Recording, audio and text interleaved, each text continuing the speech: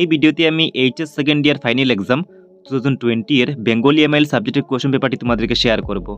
আর এই কোশ্চেন পেপারে যেগুলো শর্ট কোশ্চেন দেওয়া আছে, এই কোশ্চেনগুলোর আনসার আমি তোমাদেরকে বলে দেবো। তো তোমাদের জন্য এই ভিডিওটি অনেক বেশি ইম্পর্টেন্ট হবে, তোমরা ভিডিওটি এক সেকেন্ডও স্কিপ না করে দেখতে থাকবে। আর ভিডিওটিতে একটি লাইক করে দেবে, আর এই ভিডিওটি তোমরা তোমাদের বন্ধুদের সঙ্গে মাস্ট একবার শেয়ার করে দেবে। আর এরকম ভিডিও নোটিফিকেশন সবার আগে পাওয়ার জন্য তোমাদেরকে এই চ্যানেলটি সাবস্ক্রাইব করে বেল আইকনে প্রেস করে রাখতে হবে। সো তাড়াতাড়ি এই চ্যানেলটি সাবস্ক্রাইব করে বেল আইকনে প্রেস করে রেখে দাও। এই কোশ্চেন পেপারে প্রথমে দেওয়া আছে গ্রুপ এ এক নম্বর কোয়েশন লিখা আছে অর্থ লেখো, ক নম্বরে দেওয়া আছে স্পন্দন অথবা বাটিয়ালি। সো স্পন্দনের অর্থ হবে মৃদু কম্পন, আর বাটিয়ালির অর্থ হবে বাংলার লোকসঙ্গীত বিশেষ। আর খ নম্বরে দেওয়া আছে সহিষ্ণুতা অথবা মফস্বল। তো সহিষ্ণুতার অর্থ হবে সহ্য শক্তি, আর মফস্বলের অর্থ হবে শহরের বাহিরের এলাকা। নেক্সট হলো কোয়েশন নাম্বার টু এবং এই কোয়েশনে দেওয়া আছে অতি সংক্ষিপ্ত উত্তর দাও।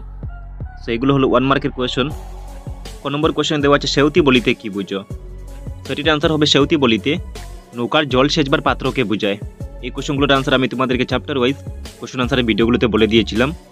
যদি ভিডিওগুলো না দেখে থাকো, তাহলে এই চ্যানেল প্লেলিস্টে ভিজিট করে তোমরা ভিডিওগুলো দেখে নিতে পারবে। সো নেক্সট ছ নম্বর কোয়েশনে দেওয়া আছে কৃপন কবিতাটি কোন কাব্যগ্রন্থের অন্তর্গত? সো কৃপন কবিতাটি খেয়া কাব্যগ্রন্থের অন্তর্গত।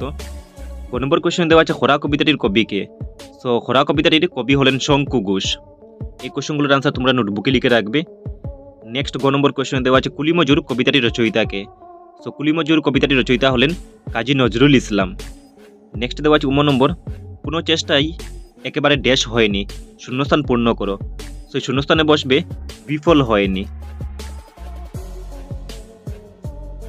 নেক্সট ছ নম্বর কোয়েশ্চেন লিখা আছে দিসাং নদীর উৎস কোথায় সো দিসাং নদীর উৎস হলো অরুণাচলের পাটকাই পাহাড়। নেক্সট ছ নম্বরে দেওয়া আছে মাস্টার মহাশয়, গল্পের লেখককে। সো মাস্টার মহাশয়, গল্পের লেখক হলেন প্রভাত কুমার মুখোপাধ্যায়।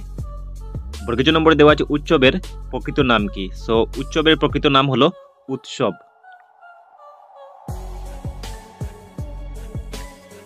নেক্সট জ নম্বরে দেওয়া আছে প্লেটোর মতে শিক্ষার লক্ষ্য কি হওয়া উচিত? সেটির আনসার হবে প্লেটোর মতে আধ্যাত্মিকতার উপলব্ধি শিক্ষার লক্ষ্য হওয়া উচিত। নেক্সট প্রশ্নে লেখা আছে, মনোবিজ্ঞান বলিতে কি বুঝো? সেটির আনসার হবে, মনের প্রকৃতি সম্বন্ধীয় বিজ্ঞানকে মনোবিজ্ঞান বলে।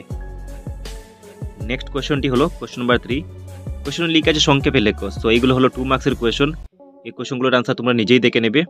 কারণ এই কোয়েশনগুলোর আনসার তোমরা এই চ্যানেলে পেয়ে যাবে। কারণ এই চ্যানেলে আমি তোমাদের বেঙ্গলি এমাইল বুকের বুদ্ধাংশ এবং পদ্যাংশের important question answer video upload করে রেখেছি। নেক্সট হলো কোয়েশন নাম্বার ফোর টিকা লেখো। তো তোমাদের এক্সামে থ্রি মার্কসের টিকা আসে। তারপর হলো কোয়েশন নাম্বার ফাইভ যে কোনো চারটি প্রশ্নের উত্তর দাও। তো এগুলো থ্রি মার্কসের কোয়েশন আসে। নেক্সট হলো কোয়েশন নাম্বার সিক্স যে কোনো তিনটি প্রশ্নের উত্তর দাও। সেগুলো থ্রি মার্কস দিয়ে আসে। তারপর হলো কোয়েশন নাম্বার সেভেন উত্তর দাও। এই কোয়েশনগুলো তোমাদের বেঙ্গলি বইয়ের প্রবন্ধ থেকে আসে। নেক্সট আসে সপ্রসঙ্গ বেজ্ঞা তো এগুলো ফোর মার্কসের জন্য আসে ফোর এবং ফাইভ মার্কসের জন্য। তারপর দেওয়া আছে কোয়েশন নাম্বার নাইন এগুলো তোমাদের বইয়ের গদ্যাংশ এবং পদ্যাংশ সেকশন থেকে আসে। সো নেক্সট গ্রামারগুলো দেওয়া আছে, এই কোয়েশনগুলোর আনসার আমি তোমাদেরকে বলে দেব। প্রথমে ক নম্বরে দেওয়া আছে, নিচের যে কোনো চারটি প্রবাদ প্রবচনের অর্থ লেখো। প্রথমে দেওয়া আছে, কিলিয়ে কাটল পাকানো। সো শুধু তোমাদেরকে এই প্রবাদ প্রবচনগুলোর অর্থ লিখতে হবে। সো কিলিয়ে কাটল পাকানোর মানে হলো, অসমে জোর করে কাজ করা। নেক্সট দেওয়া আছে, হাল কেটে কুমির আনা। এটির অর্থ হবে, শত্রুকে প্রবেশ পথ করে দেওয়া। তারপর দেওয়া আছে ঘুষের টাকা ফুস।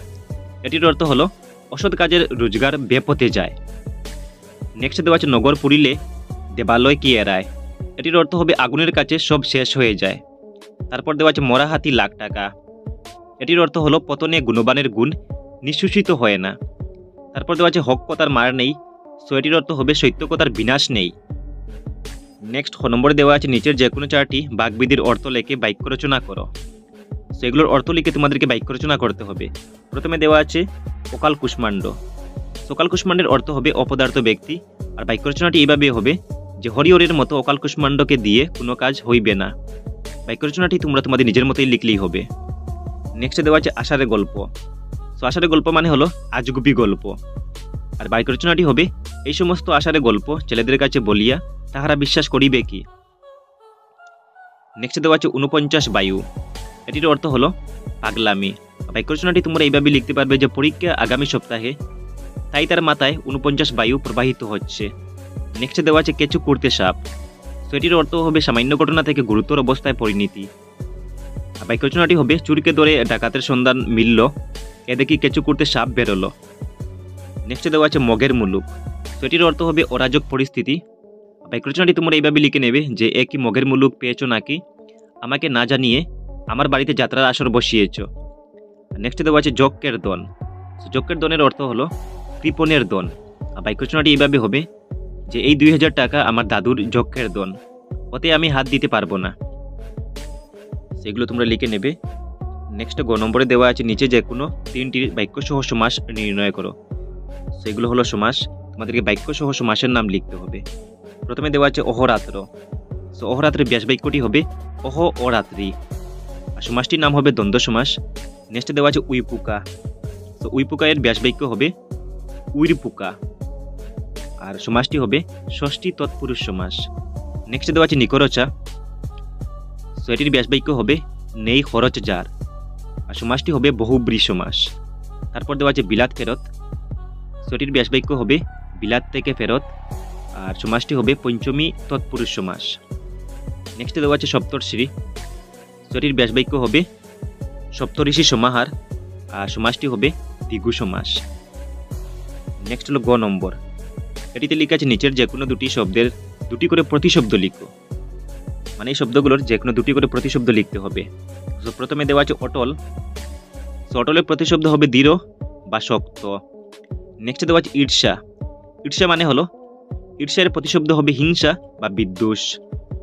আর জগতের প্রতিশব্দ হবে দরা বা পৃথিবী। এবং লাস্টে দেওয়া আছে যে কোনো একটির বিষয়ে রচনা লেখো। টেন মার্কসের জন্য রচনাগুলো তোমাদের এক্সামে আসে। আর আমি এই চ্যানেলে তোমাদের রচনার একটি ইম্পর্টেন্ট ভিডিও আপলোড করে রেখেছি। মানে দুই হাজার তেইশ বর্ষের এইচএস ফাইনাল এক্সামে কোনগুলো রচনা আসতে পারে, এই বিষয়ে আমি একটি ভিডিও এই চ্যানেলে আপলোড করে রেখেছি। যদি তোমরা ভিডিওটি না দেখে থাকো, তাহলে এই চ্যানেলের প্লেলিস্টে ভিজিট করে তোমরা ভিডিওগুলো দেখে নিতে পারবে। তো এই হলো দুই হাজার বিশ বর্ষের বেঙ্গলি এমআইল সাবজেক্টের পুরো কোয়েশন পেপার তো এই ভিডিওটি তোমরা তোমাদের বন্ধুদের সঙ্গে মাস্ট একবার শেয়ার করে দিও। আর নেক্সট ভিডিও সবার আগে পাওয়ার জন্য তোমার এই চ্যানেলটিকে সাবস্ক্রাইব করে বেল আইকনে প্রেস করে রাখবে।